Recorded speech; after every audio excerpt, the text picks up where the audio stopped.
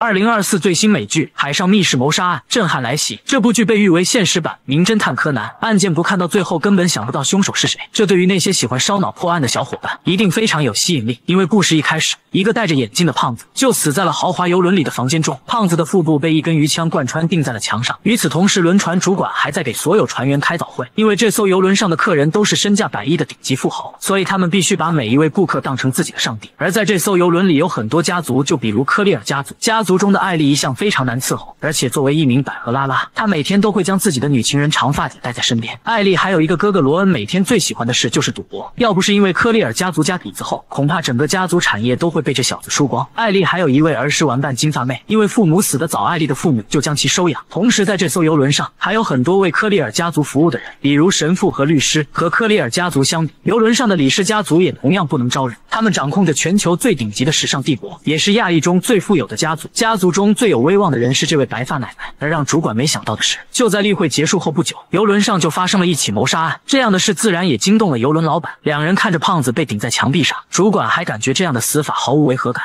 A bit gruesome and yet somehow poetic. 与此同时，得知胖子死了的消息，最慌张的却是科利尔家族的金发妹。因为白天胖子对自己出言不逊，晚上金发妹就偷偷溜进了胖子的房间，砸碎了他那价值几百万的金表。可没曾想，等自己出来时，才注意到走廊里的监控已经将他的一举一动拍了下来。如今胖子死了，那自己岂不是成了头号怀疑对象？即便自己没有杀人，这事儿要是传出去，整个家族都会蒙羞。于是金发妹马上溜进了监控室，打算将自己那段录像抹掉。可很快，他就发现这录像中有七秒时间没有任何画面。而这边的主管已经召集了所有传船员开会，他。表示虽然发生了谋杀案，不过好在船上有一位著名侦探鲁夫斯，在游轮靠岸之前，所有人都要配合鲁夫斯。很快，金发妹就回到了自己的房间，刚坐到床上就听见厕所传来声音，她以为是和自己打针的男人还没走，没曾想走出来的竟然是侦探鲁夫斯。面对突然闯进自己房间的侦探，心虚的金发妹马上拿起电话打算叫人，结果鲁夫斯却说出了一句话：Seven minutes, twenty-three seconds. That's how long you were in Mr. Trubitsky's suite. I didn't kill him. Interpol gets their hands on this footage, they will think differently. What do you want? I want to help you, Miss Scott. 看着眼前的鲁夫斯金发妹，竟然开始微笑。原来在金毛妹还是小女孩时，两人就认识。当年母亲被炸死的案件，就是鲁夫斯负责调查。可因为案件线索太少，母亲被炸的尸骨无存，最终成了一桩悬案。可能也是因为这件事，让金发妹对鲁夫斯很有成见。然而现在游轮距离靠岸还有不到二十四小时，给金发妹考虑的时间已经不多了。究竟案件会如何发展？凶手究竟会是谁？一切的一切也将被鲁夫斯揭开真相。豪华游轮行驶第一天就出现密室谋杀案，死者生前前是个素质低下的富豪。You gotta be fucking kidding me! This watch is worth 50 grand. You hear me? That's 50,000 American. More than you make in a fucking year. I'm so sorry, sir. I- I'm Your so tip sorry. wasn't here.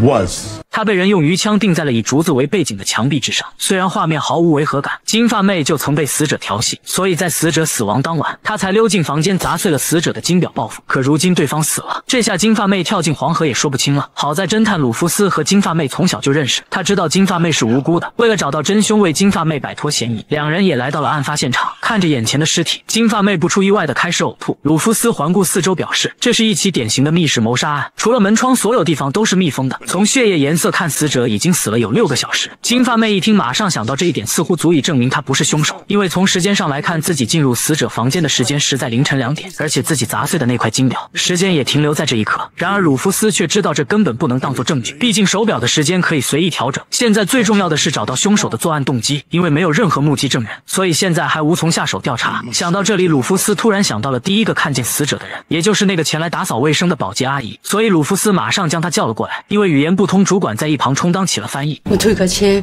去個水工度房度啊嘛，咁冇乜點啊。不過話你唔可以決定嗰啲人係啲乜嘢人嚟㗎。我擰轉頭啫，哇！周圍都係血啊腸啊，我都唔知道地氈啲血跡點洗啊！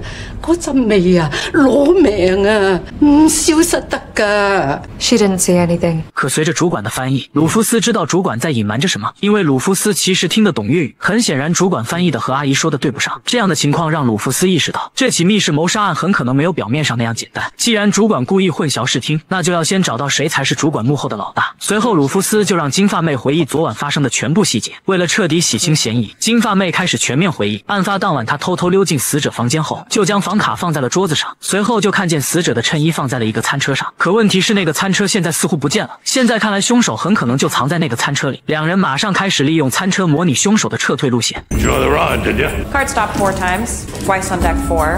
Housekeeper dropped empty plates, but the doors were open into those suites, so killer could have slipped into a room. Maybe. 可尽管如此，案件依旧扑朔迷离。晚上，金发妹突然发现了鲁夫斯写的自传，这也让她想起了当初她忽然放弃调查自己母亲死亡的真相，一切都仿佛就发生在昨天。随着金发妹的回忆，她忽然发现，当年那个给鲁夫斯开车的助手，竟然就是今天的死者。这一刻，金发妹的后背发凉，一种预感突然在她的心中迸发。金发妹马上找到鲁夫斯质问，为什么要隐瞒自己跟死者的关系？这次上船的目的到底是什么？在金发妹的逼问下，鲁夫斯不得不对她说出实情。原来有一天，助手胖子突然得到消息，金发妹的养父母正在招募合伙人，而要成为合伙人的前提，就是要公布自己公司十年内的账目，以此来证明自己公司的完全干净。这让鲁夫斯想到了权势滔天的鲍刚，正是这个人让当年的他无法再调查金发妹母亲被杀的案子，所以两人就想利用这一点对付鲍刚，继续调查这起案子，给金发妹一个交代。听着鲁夫斯的话，金发妹无比感动。不知过了多久，她从鲁夫斯的房间里出来，面对家族的人，她一把抱住了干姐姐，还给了她一张纸片。随后就开始观察家族中所有成员的表情，因为接下来鲁夫斯将对所有人展开审问。第一个被询问的是科利尔家族的法律顾问，面对鲁夫斯的询问，这个人却只给了他一个中指。可也因为这个动作，让鲁夫斯看见法律顾问的手腕受伤了。第二个被询问的人是艾丽的哥哥罗恩，他的嫌疑似乎最小，因为他总是在反问我为什么要杀自己的投资者。第三个被询问的人是艾丽，他似乎对所有事都一无所知，脑子里都是和自己的女宝贝在一起时的甜蜜。很快，他的女朋友也被叫了进来，不知为何他全程一句话不说，一直都在保持沉默。紧接着，艾丽的妈妈却很配合，不过却没有什么有用的信息。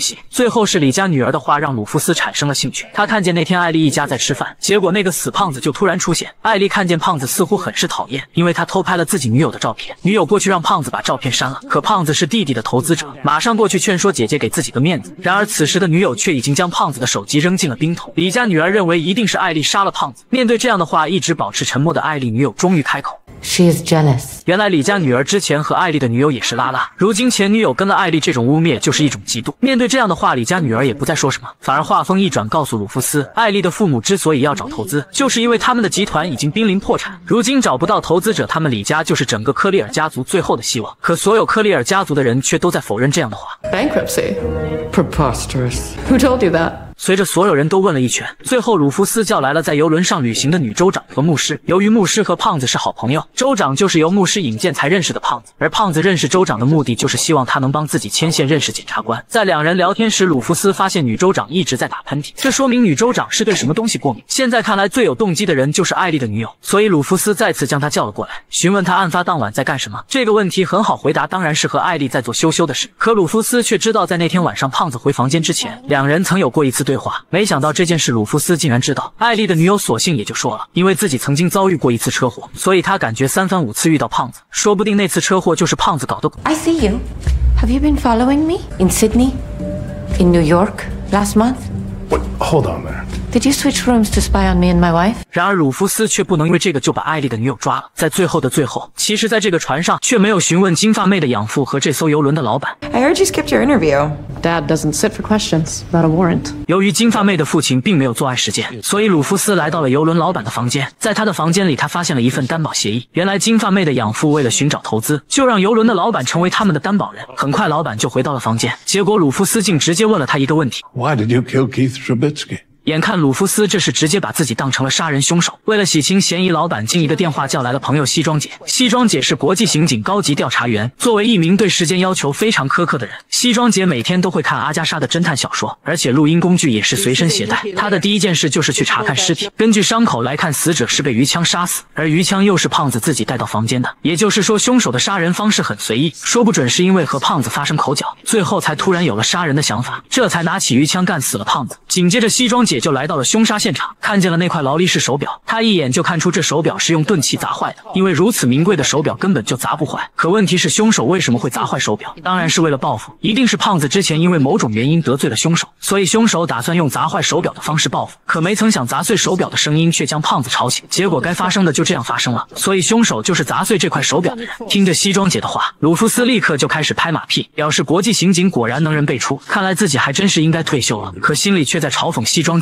推理的这是什么乱七八糟的玩意儿？要是光看表面就能破案，自己早就找到真凶了。与此同时，因为这起突如其来的凶杀案，李家女儿找到了艾丽，表示他们家族要退出这次投资。此话一出，这让艾丽有些措手不及，因为如果李家不投资，那他们的科利尔家族这次很可能就真的会破产。第二天，艾丽就找到了李家奶奶，她无比真诚的希望对方能够帮自己家族一把。事成之后，一切条件李家都可以提。然而李家奶奶却用无比正宗的汉语对她说：“你一个人说的话不算数，我得听听大家怎么说呀。”很显然，李家奶奶这是感觉艾丽身份不够，所以艾丽马上找到了父亲，希望他去找李家奶奶谈一谈。可父亲却指责艾丽家族走到今天都是因为他。另一边，鲁夫斯也将西装姐的一番推断告诉了金发妹。现在西装姐一口咬定，打碎手表的人就是杀人凶手。虽然她现在还不知道手表就是金发妹砸的，可这件事要是继续查下去，很可能会露馅。所以现在两人最重要的就是找到科里尔家族的公司账本，查找他们公司亏损的原因，从而找到引起亏损的家族成员。说不定这就是这起案件的关键。从某谋杀案开始至今已经过去十二个小时，眼看距离靠岸的时间越来越近，鲁夫斯也决定查看科利尔家族集团的账本。可账本却在游轮老板的保险柜里，金发妹只能选择成为一名小偷。可她刚要打开保险柜，就被游轮老板和主管抓到。因游轮老板私下里和金发妹关系不错，也不打算报警，就让主管离开了。眼看自己被抓，金发妹干脆将自己偷账本的原因告诉了老板。所以金发妹希望游轮老板能帮自己一把。与此同时，女州长和牧师却在甲板上聊天。女州长希望牧师帮助自己，因为在案发当晚就是女州长给胖子下了用餐单，而下单的命令又是一位神秘人让女州长的团队办的。也就是说，这位神秘人和凶手有着很大关系，而且这位神秘人非常有钱，捐了大量资金给女州长的团队，不然女州长也不会在案发当晚这样做。毕竟只是点了一份餐单，也没什么大不了。谁能想到却把胖子害死了？而且还有一件事女州长没有说，那就是案发当晚女州长其实是在艾丽赌鬼弟弟的房间。至于干了些什么，就请大家自行脑补。另一边，艾丽忽然发现自己的宝贝女朋友丢了，她找遍了整个游轮都没找到，却遇到了正在打吊瓶的李家女儿。Something wrong? Everything's fine. You look exhausted. I'm going to order you a B12 injection. 因为之前两人曾经是情侣关系，而李家女儿也对两人之前的感情念念不忘，所以这次遇到了就打算让艾丽回心转意。其实艾丽完全可以以两人之前的恋情为由，让李家为自己的家族投资，可艾丽却并没有这样做，而是拒绝了李家女儿的复合请求。至于西装姐此时却来到了监控室，调查监控视频中丢失的部分内容，所以她开始询问值班安保，案发当晚在干什么？这个问题属实有些尴尬，因为安保总不能说自己那晚在和金发妹羞羞，而就在安保不知如何解释时，恰好到了西装姐要吃午饭的时间。Look at that. I'm on lunch.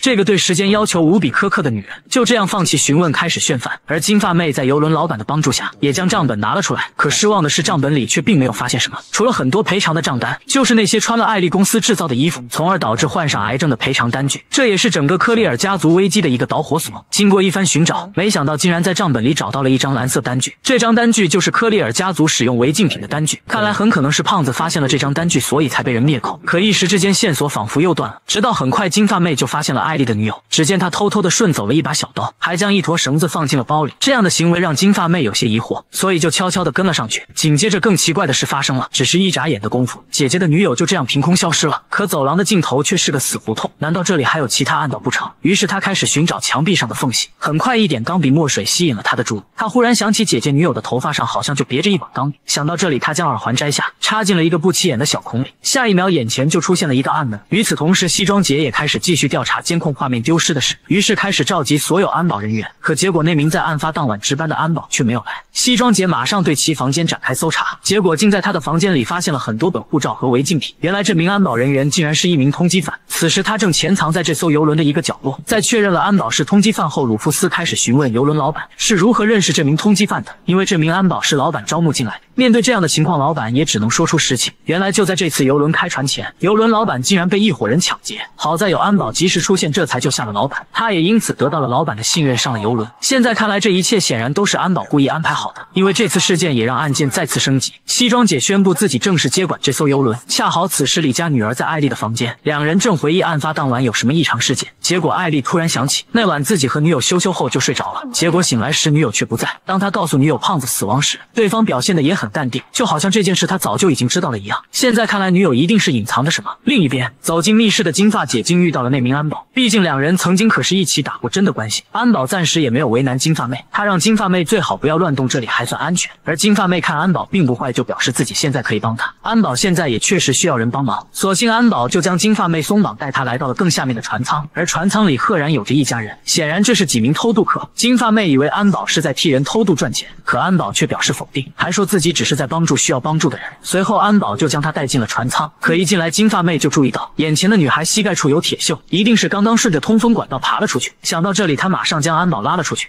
Jules, I need to question her. What if she saw something? She could be a witness. She didn't see anything. They haven't left this room, not even once. Did you see her knees, her hands? She went up into that vent. You don't know shit. Putain. See, I should have brought you here. Hey, Interpol is looking for you. I don't care. Yeah, well, I do. Now, if that girl can help us solve this, we can prove that you didn't do it. And after that, I swear we will get them off this boat. 听着金发妹的话，安保想来很有道理，就同意了。可因为语言不通，金发妹就打算去找一个翻译，结果恰好看见来势汹汹的西装姐，她竟然发现科利尔家族的律师被人绑在了衣柜里。从捆绑方式来看，看来律师的爱好还真是特殊。 You did not tie those binds yourself. Who did? I don't have to tell you that. You are hindering a murder investigation. And you are hindering your lovely bone structure. That haircut is all wrong. 尽管国际刑警专员西装杰百般询问到底是谁绑了他，可律师却守口如瓶。没办法，西装姐只好将他关了起来。与此同时，金发姐将船舱里安保帮人偷渡的事告诉了鲁夫斯，还带他来到了地下船舱。可没曾想，游轮老板和主管竟也跟了过来，看见安保就藏在这里，两人就这样打了起来。不过很显然，游轮老板根本就干不过安保。金发妹也在此时说出了案发当晚她跟安保在一起打针的事，并且担保她不是杀人凶手，这才让游轮老板冷静下来。随后，金发妹就和鲁夫斯开始询问偷渡女孩。经过询问，女孩表示自己在三天前爬到通风口，听见有有人发出尖叫，不过却没有看见是谁发出的声音。鲁夫斯继续询问，除了尖叫声，还有其他什么声音？And then I hear something drop the floor. 闻听此言，金发妹马上想到，这很可能是凶手将鱼枪扔在地上的声音。紧接着，女孩还说出了一个非常重要的信息，那就是她还听见了高跟鞋的声音，也就是说，凶手是一名女性。I saw something. I did. Tak, she stepped into view. She? How did you know it was a woman? She was wearing ladies' shoes. I can see them now. Black with gold spikes. 随着询问结束，鲁夫斯走了出来，却看见主管的脚上正穿着高跟鞋，因为职业需要高跟鞋，几乎成了他每天的标配。鲁夫斯马上将主管叫到一旁询问，眼看这事儿瞒不过去了，他也只能将实情说了出来。原来尖叫声是律师发出来的，作为主管，他只能满足客户的各种要求，当然也包括用小皮鞭抽打客户。所谓有东西掉落的声音，也只是皮鞭落在地上的声音。回想律师手上的伤痕，看来主管说的是真的，只不过他没想到这主管的敬业程度，还真是首屈一指。可问题是，鲁夫斯基的主管还有个妹妹，妹妹的口供说。案发当晚，她一直都跟姐姐待在一起。难道说是姐妹二人一起抽打的律师？不过这显然不可能，所以说妹妹并没有说实话。为了能够让妹妹说出实情，鲁夫斯这个老头竟不讲武德，他当众宣布所有人在此刻恢复自由，因为自己已经找到了杀人凶手。You may all return to your regularly scheduled activities. The manhunt is over. You caught the killer? We did. Interpol is processing Miss Teddy Go as we speak. 听见这样的话，所有人都没想到，主主管妹妹更是目瞪口呆。她马上找到西装姐，表示人不是姐姐杀的，自己才是杀人凶手。随后，妹妹就开始描述案发当晚自己的作案过程。那晚自己钻进餐车，因为体重不大，所以根本不会引起注意。她一直漂浮在胖子的房间，直至深夜。见时机成熟，这才用鱼枪杀了人。她还看见半夜金发妹来到胖子的房间砸碎手表。然而让鲁夫斯没想到，妹妹的杀人动机却无比让他无语。仅仅只是因为感觉游轮上的这些人有钱有势，生活富裕，却干着肮脏的事，这让他感觉恶心。所以他憎恨游轮上每一个人。尽管这个动机听起来就很扯淡，可西装姐却信了。也就在此时，船下的偷渡客也被发现了，他马上朝着轮船底部移动。金发妹则抢先一步通风报信，让安保和游轮老板带着偷渡客离开。毕竟是发生在自己的游轮之上，老板也不想这样的事被国际刑警得知，于是马上开始转移。而安保为了给他们拖延时间，选择引开西装姐。不出意外，安保就这样被抓了。然而就在此时，一个神秘男子却透过监控看着这一切，甚至游轮上的每一个角落都在神秘人的监控之内。案发当晚，每一个人的房间里发发生的一切，也都被神秘人记录了下来。也就在此时，女州长就收到了一封邮件，打开一看，里面赫然是自己跟艾丽弟弟的不雅照片。另一边，侦探鲁夫斯却在地下船舱里发现了藏起来的艾丽女友安娜。他告诉鲁夫斯，自己之所以藏起来，完全是因为一个叫鲍刚的男人。听见这个名字，鲁夫斯的表情瞬间凝重起来。这可是他一直都在想方设法对付的仇人。当年金发妹的母亲被杀一案，就是因为鲍刚而被迫终止。紧接着，对方告诉鲁夫斯，那个主动认罪的服务员只是鲍刚的一个工具而已。他的可怕之处让人无法想象。很显然，安娜可能也遭受过鲍刚的虐待，不然不可能知道这一切。可让鲁夫斯没想到的是，安娜却说自己其实是一名记者，这些年一直都在和一位警探调查鲍刚。可就在前段时间，那位警探被鲍刚设计而被撤职。好在警探将他调查到的证据给了自己。可也就在那晚，他的车子就突然失控而发生了车祸。自那以后，安娜就从不相信任何人，包括和她同床共枕的艾丽，因为这儿的每一个人都可能是鲍刚的人。而随着西装姐抓到安保，找到杀人真凶，她以为一切可以就此结束，于是就在游轮上晒起了太阳，享受着工作后的欢快时光。可就在此时，那个习惯被虐待的律师却找了过来，还说自己非常喜欢那种被鞭打的感觉。他一眼就看出西装姐年过五十，一直很压抑，内心也在渴望着这种刺激，所以希望西装姐今天晚上来自己房间鞭打自己。说完也不等西装姐反应就离开了。到了晚上，西装姐竟真的来到了律师的门前，看来接下来的画面一定无比刺激。至于鲁夫斯这边，因为得知了安娜和他说的一切，所以他找到了主动认罪的女服务员质问。Victor Sams, what did he promise you?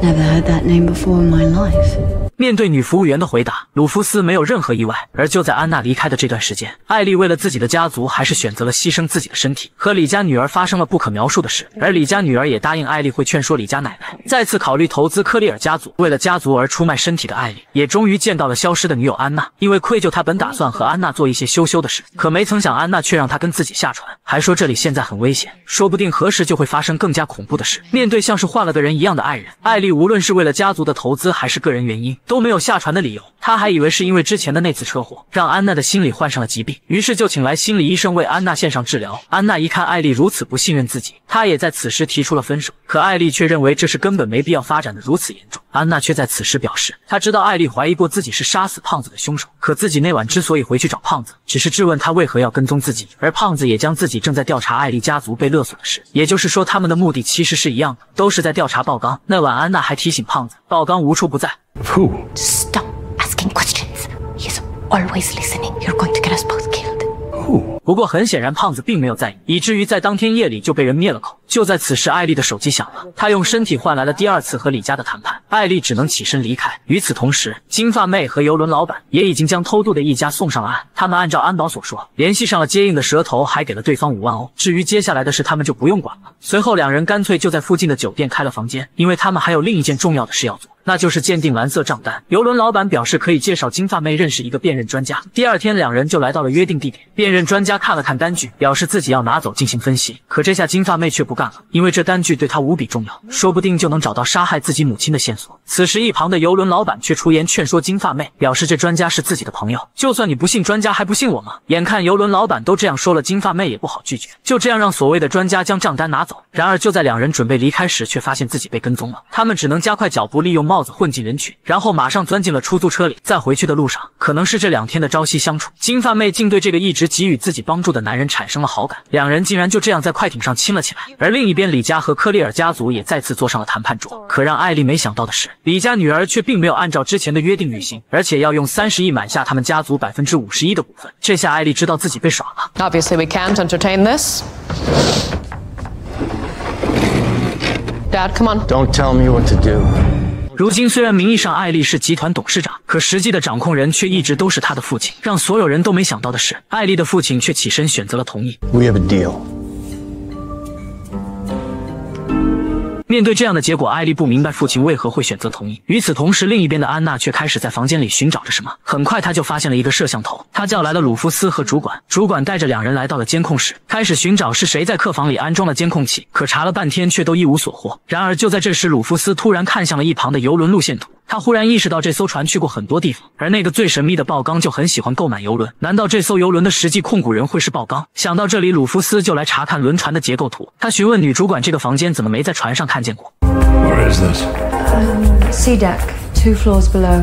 听着女主管的话，鲁夫斯带着两人拿着斧子就来到了平面图上的位置。鲁夫斯对着墙壁就开始猛砸，很快就发现了墙壁后面冒出了蓝色的光。随着几人进入这个房间，眼前的一切却让他们目瞪口呆，因为这里竟然藏着海量的服务器。毕竟这艘游轮上有上千的房间，所以这些服务器也是必备品。主管想不到这一切竟然全都是发生在自己的眼皮子底下。此时的鲁夫斯最怀疑的人莫过于游轮的老板苏尼，因为名义上这艘游轮都是他说了算，所以这件事他应该知道。也就是说，有很大的可能苏尼认识幕后黑手鲍刚。另一边，自从女州长收到神秘邮件后，就打算和艾丽的弟弟结束这段关系，所以女州长就找到了艾丽的弟弟。可让他没想到的是，最终他还是没能抵抗荷尔蒙的诱惑，两人再次开始了打针的过程。而西装姐也在此时和律师玩起了虐待游戏，实在想不到一本正经的西装姐竟然也会有如此爱好。艾丽姐弟俩也因为李家投资的事，在 KTV 里放声高歌排解心中苦闷。而最意难平的还是金发妹，她已经和轮船老板一起打完了针，而苏尼也趁着四下无人，拿出了一部卫星手机，拨通了一个电话号码。原来苏尼竟然真是鲍刚的人，只不过苏尼好像有什么把柄在鲍刚手上。他本打算通过这通电话拒绝再当鲍刚的傀儡，可鲍刚却告诉他，刚刚他跟金发妹打针的画面自己已经录了下来。也就在此时，金发妹就跟鲁夫斯破门而入。看来鲁夫斯已经将自己的猜想告诉了他，他知道打电话的人就是鲍刚。苏尼见状，赶忙解释自己并不是鲍刚的小弟，可鲁夫斯却戳穿了苏尼隐藏的秘密。这艘游轮的购买资金有很大一部分都是鲍刚出的，而且目前这艘游轮一直都处于亏损状态。可苏尼却还能一直让游轮正常运转，这需要庞大的资金支持。也就是说，游轮的背后是鲍刚一直在为苏尼输送资金。可即便所有事都被鲁夫斯说中，苏尼却依旧死鸭子嘴硬，表示自己根本就不认识什么鲍刚，就更别说给人家当什么小弟。听着苏尼如此，金发妹此时已经怒了，毕竟两人才刚刚打完针，在金发妹的逼问下，苏尼还是说了实话。不过他虽然给鲍刚干了不少事，却自始至终没见过鲍刚的样子，一切都是通过一个中间人下达的指令，也就是在岸上跟踪金发妹的那个人。而一切也如鲁夫斯所想，自己之所以会给鲍刚做事，就是为了鲍刚的资金，这样他才能继续维持游轮运转。而作为交换条件，苏尼需要提供游客的所有资料，而鲍刚就通过摄像头拍下这些人的秘密。毕竟能上游轮的人都是达官显贵，鲍刚就是用这种方法不断控制权贵，以达到自己手眼通天的目的。另一边，游轮之上竟又发生了命案，而死的人竟然就是女州长。她突然匆忙的拿着一个文件找到西装姐，扬言这就是艾丽家族公司违规的证据。可当文件被打开的那一刻，西装姐却发现这上面一个字也没有，完全全就是一张张的白纸。也许是急火攻心，又或许是被人下了毒，女州长竟突然一口老血喷了出来，然后就浑身无力的躺到了地上。艾丽的弟弟看见女州长突然吐血而亡，却一脸恨意的看向了律师，上去就给了律师一拳。You have no idea what your family is capable of.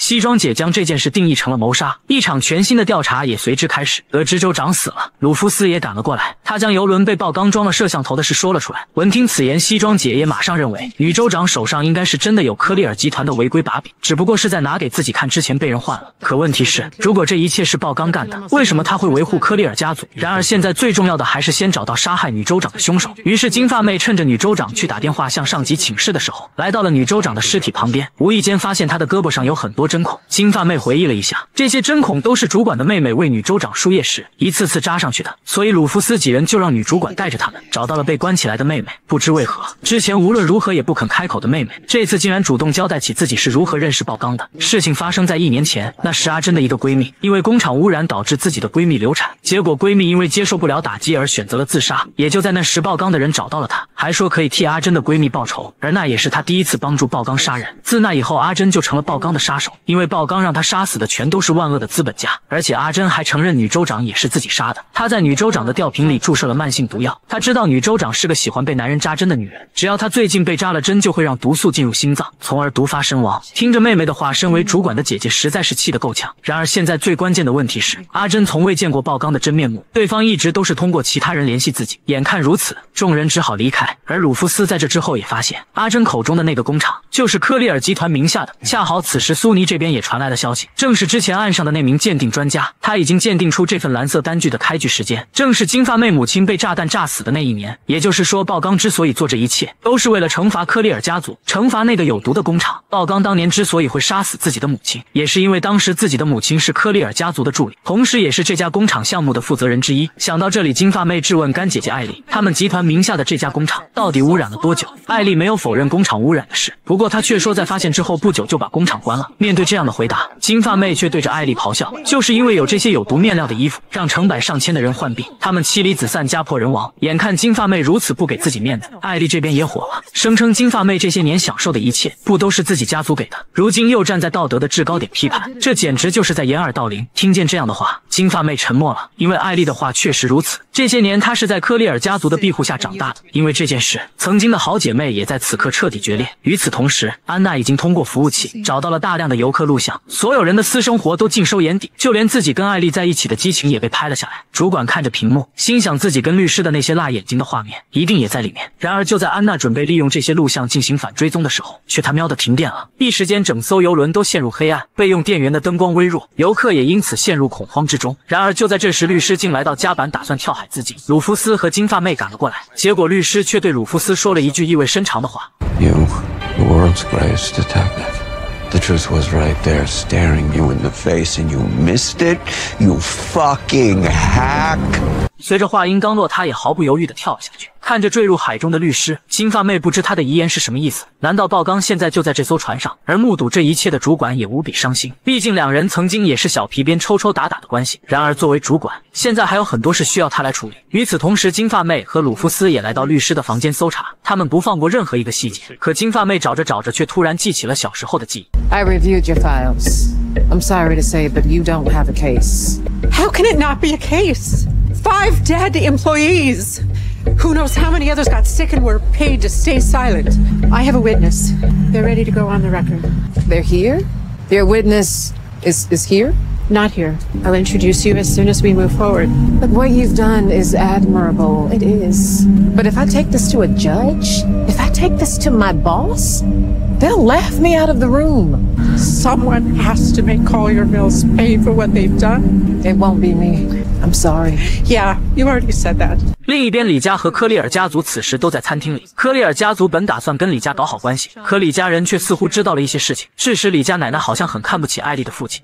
你在我国做了四十年的生意，What the hell is she 可是?从来没有想到要学我们的语言。I don't have to stand for this. 眼看李家奶奶话中带刺，父亲一气之下直接转身离开。You'll make a much better CEO.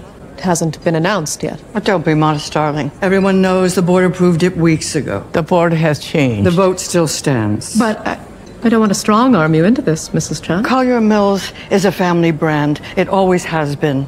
This company is more valuable with my daughter at the helm. because she's a collier. Because I'm the right person for the job. I've walked every inch of our factory floor. I've known our vendors since I was a child. I can lead our company into a new era. 可让艾丽没想到的是，此时的李家奶奶却说艾丽不是她父亲亲生的。 The clients expect a collier in charge. But you are not a collier.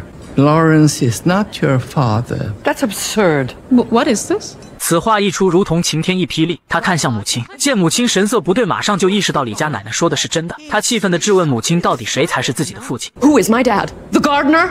Your Pilates instructor? Oh no, don't tell me. Don't tell me. The pool boy. 面对女儿的质问，母亲最终还是选择了承认。 The truth is a weapon, and it won't help now that he's. Now that he's what? It's too late, honey.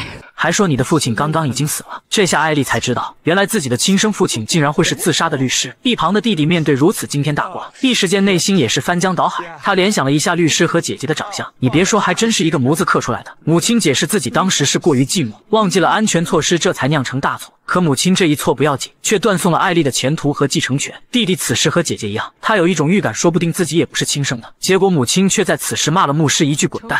随后就离开了餐厅，这下所有人又懵了。李家人冷冷地看着这一切，心说还真是吃了不少瓜。也就在这时，想起了一段记忆的金发妹来到了这里。她说自己想起了小时候死去的女州长曾找过自己的母亲，还说什么证据没有用。结果第二天自己的母亲就被炸死，但是她却记得女州长说的证据里有一个是关于李家奶奶的，因为李家奶奶曾经就是她母亲的证人，所以金发妹这次过来就是要询问李家奶奶。My mom was a whistleblower. She was going to take down the Collier family, and you were her witness. 面对金发妹的疑问，李家奶奶也开始讲述自己的故事。那是五十年前的一天，她和自己的丈夫都是纺织工厂的工人，而且还生下了一个女儿。可就在这天，工厂里来了一批新料子，结果正在工作的丈夫就突然感觉身体不适，开始剧烈的咳嗽起来。然而只有妻子知道，丈夫的死其实是这批服装的面料散发着剧毒。为了给丈夫报仇，年轻时的李家奶奶用自己所有的积蓄建立了属于自己的服装厂。随着时间流逝，二十年后，李家奶奶已经坐拥几十亿资产，拥有了和科利尔家族抗衡的实力。也就在那时，金发妹的母亲找到了她，而两人目的也不谋而合，那就是举证这些毒品材料，让当年的真相浮出水面。也就在此时，听见李家奶奶说到了自己的母亲，金发妹马上就意识到自己母亲的死很可能就是艾丽的父亲做的，因为母亲要举报科利尔家族，所以她才痛下杀手。金发妹想到这里，果断转身跑了出去，找到了正在甲板上思考人生的艾丽父亲。她开口就质问道。You killed my mom.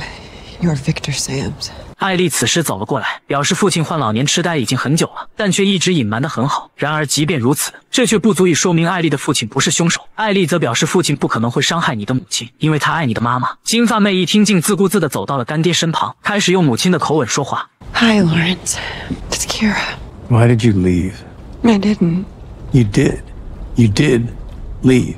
眼看痴呆的干爹果然将自己认成了母亲，金发妹也直奔主题的质问：为什么他明知道那些面料有毒，却还要投放市场？结果干爹却怒吼着告诉他，自己手下还有上千名工人需要养家糊口。我当时试图向你解释，可你却丝毫不听。金发妹就这样一点点套取重要的信息。眼看时机差不多了，金发妹也问出了最重要的信息，那就是你为什么要杀了我？I didn't want to do it. I wanted you to stop. Why wouldn't you stop? What did you do? I did what I had to do. You killed her. I made a phone call. Kira, I, I'm sorry. I, I miss you so much. You have no idea. 听见这样的话，无论是艾丽还是金发妹，全都惊讶的无话可说。另一边，因为律师的死，主管这边念及两人皮鞭之情，就开始查询他自杀的原因。结果就发现律师喝过的红酒被人动了手脚，上面的红酒塞赫然有一个针孔，这说明有人给律师下了毒。而且这船上还有爆缸的手下，也就是说现在所有人都很危险。主管见状，放了苏尼，让他下船去找救援。而这边收到主管的消息，鲁夫斯和西装姐也对船上的一名服务员展开审问，因为就是他把这瓶有毒的红酒给了律师。可面对这样的指控，这名服务人员却表示自己无比冤枉，因为他只是按照一位顾客的要求，把那瓶红酒送到了指定的房间。I do what I'm told. A guest wanted a bottle sent to Mr. Manners. I served that bottle. Hans, I would like to believe you. 那么问题来了，这个顾客到底是谁？很快，服务员就说出了这个客人的身份，竟然就是艾丽的母亲。而就在所有人惊讶此人的身份时，却突然听见一声尖叫。意想不到的事又发生了，艾丽的母亲竟然死在了游泳池里。所有人都来到了泳池边，而此时天空之上，一架直升机正打算缓缓降落在游轮之上。他们都以为这是西装姐叫的救援，可西装姐却很明确的告诉他们：“That is not my backup。”与此同时，本打算去找救援的苏尼，却发现救援用的游艇不知被谁事先开走，而且苏尼还听见了定时炸弹的滴滴声。他顺着声音一看，竟发现了一枚定时炸弹。这玩意儿要是爆炸了，整艘游轮都会被炸得稀巴烂。而这边直升机也已经落到了游轮之上，从上面走下来的人全副武装，这竟然是鲍刚的手下。为首的人叫杰克，也是鲍刚的得力助手。他一下就将西装姐打晕，随后下令将游轮上的所有人聚集在一起。接下来，他要代表鲍刚和这群人玩一场游戏，获胜者可以跟自己离开。不过他的直升机上只有九个空。位，这九个位置大家可以花钱购买，价高者得。输掉的人就只能留在游轮上被活活炸死。而且杰克还表示，之前游轮上死的人都是死有余辜，他们都是有罪之人。然而在他们开始游戏之前，一些无辜的人他们可以先行离开，自己会安排人送他们上岸。而这其中就包括侦探鲁夫斯。虽然不知上岸是真是假，为了上岸后去报警，鲁夫斯只好先上船离开。而此时的轮船上，杰克已经按下了倒计时，他们只有六十分钟的时间思考。为了活下去，所有人只能花钱买命。而且似乎轮船上的。人最不缺的就是钱，可问题是，就是因为所有人都有钱，才会在竞争中变得需要更多的钱来买自己的性命。不过好在李家那三十亿，昨天就已经打到了科利尔家族的账户上。听见姐姐的话，弟弟这才放心不少。与此同时，金发妹几人也在房间里商量对策。相比李家和艾丽他们，他们似乎是整艘船上最穷的人。不过现在看来，乘坐直升飞机才是唯一的活路，而争取活路的位置途径就是参加竞标。可参加竞标就会必输无疑，到最后还是个死。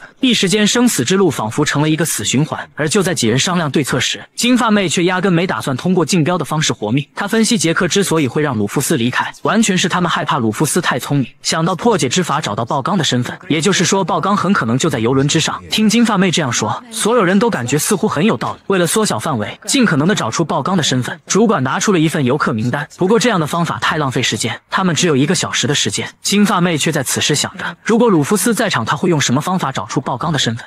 如果是他在，他一定会去找那个知道答案的人。与此同时，牧师找到了李家奶奶，希望他能借自己几个亿应应急，毕竟自己可不想死在这里。然而让牧师没想到，李家奶奶不光不借钱，还表示自己不可能参加什么竞标，那就是一个无底洞。告诉他，我不会给他买票的，我不会买任何票的。我不会跟他玩这种游戏的。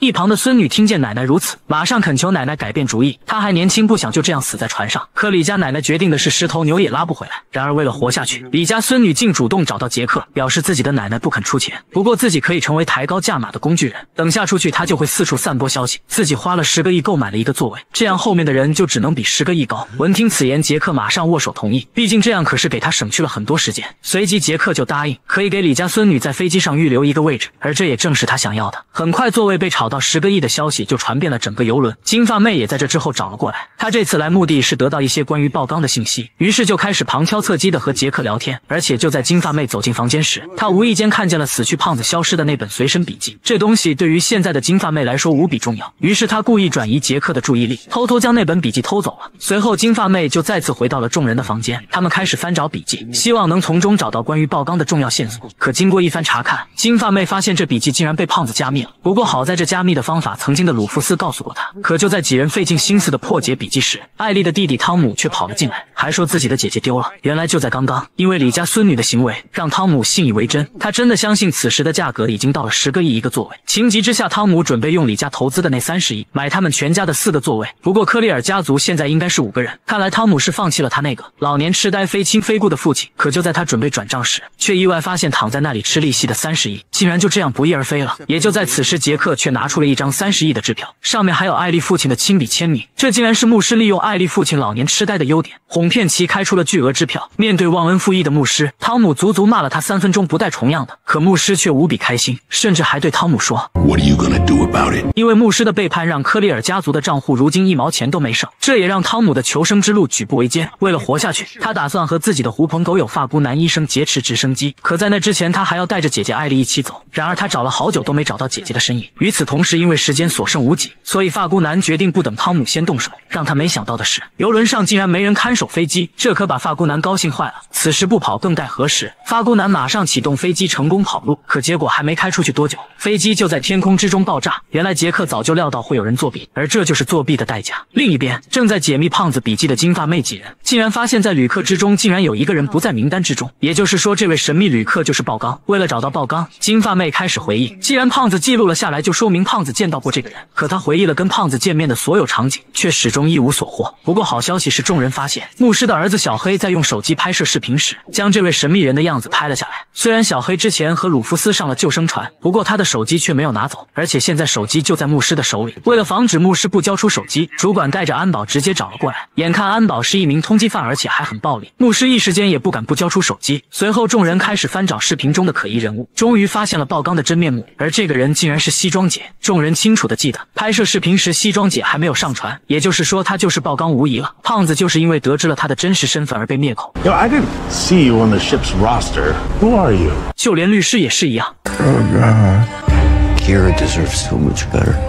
I really loved her, you know. 得知爆缸的真实身份，金发妹怒不可遏，随即就找了过来。可让她没想到，随着她看着西装姐的脸，却有一种莫名的熟悉感。这竟然是自己已经被炸死的母亲。就在母女俩谈话间，炸弹已然炸响，价值数十亿的游轮开始沉没。西装姐希望女儿跟着自己离开这里，可金发妹却表示拒绝。眼看女儿如此倔强，西装姐只能将后面自己的计划说出来。她早就已经安排好了一艘可以荷载千人的救生艇，不出五分钟就可以赶到这里。她这样做也只是想给这艘船上的人一个教训，而这也就是李家奶奶不会出。一分钱购买座位的原因。听着母亲这样说，金发妹最终还是选选择了妥协，跟着母亲上了救生艇。随着母女俩来到了安全地带，金发妹看着眼前的母亲，要求她将当年的所有事都说出来。毕竟自己这么多年都以为母亲死了，还傻呵呵的在寻找杀害母亲的凶手。而随着母亲将一切告诉女儿，一个不为人知的肮脏勾当也在此刻浮出水面。金发妹也将自己想象成了母亲的角色，带入到了二十年前。原来当年的母亲因为举报科利尔家族的事，在这天夜里遭到了一名杀手偷袭，好在当时侥幸逃离。这也让母亲意识到自己必须离开这里，不然迟早会被科利尔家家族干死。可是自己的女儿才六岁，她不可能带着金发妹浪迹天涯。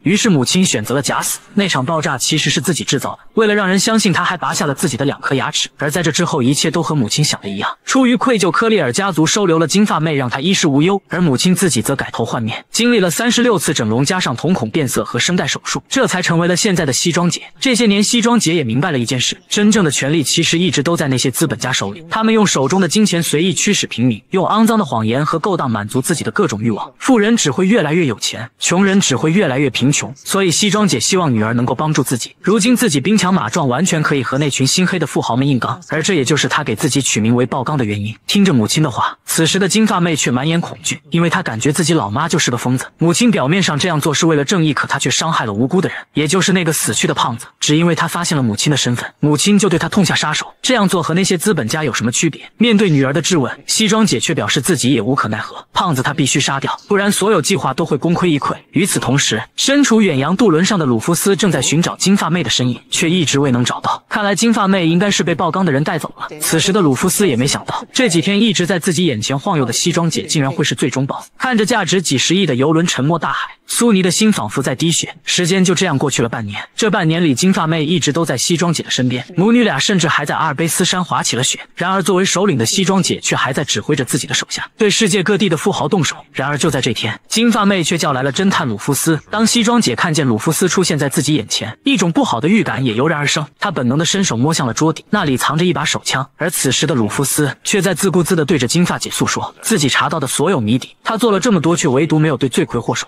也就是艾丽的父亲做什么，这明显不符合常理。而他之所以会这样，完全是因为艾丽的父亲已经得到了惩罚，那就是他每天都喜欢喝的饮料。在西装姐的暗箱操作下，他的饮料已经变成了慢性毒药，这也是他会患上老年痴呆的原因。而讽刺的是，这些饮料里放入的毒药，其实就是科利尔家族当年有毒服装的原料。鲁夫斯之所以会说这些，并不是希望西装姐承认，而是要告诉西装姐，在游轮爆炸之前，他们就将所有的服务器抢救了出来，里面的所有证据足够金发姐被法律制裁。至于手枪，也早就被人提前将子弹取了出来。放眼望去，其实餐厅里的所有人都是便衣警察。随着所有便衣警察将西装姐包围，传说中的爆缸也终于被逮捕。可一切的一切却并没有因此而结束，因为这一切竟然也在西装姐的计之中。很快，西装姐的手下就找到了艾丽，毕竟艾丽的把柄还在西装姐这里。原来，艾丽母亲的死并不是西装姐安排人干的，因为母亲的私生活过于混乱，致使自己成了野种，这让艾丽对母亲心生恨意，所以她拿起了泳池边的雨伞，上去就给了母亲一下。结果雨伞的头部正好割断了母亲的大动脉，情绪失控的艾丽就这样杀死了自己的母亲。而且这一幕恰好被路过的西装姐看见，她直接表明自己就是爆缸的身份，随后让艾丽将一切罪责都嫁祸给自己，这也让艾丽洗脱杀母嫌疑。如如此大的人情，爱力自然要还，这也是西装解留的后手。第二天滑雪场里就突然出现一具被分割的尸体，这尸体到底是谁？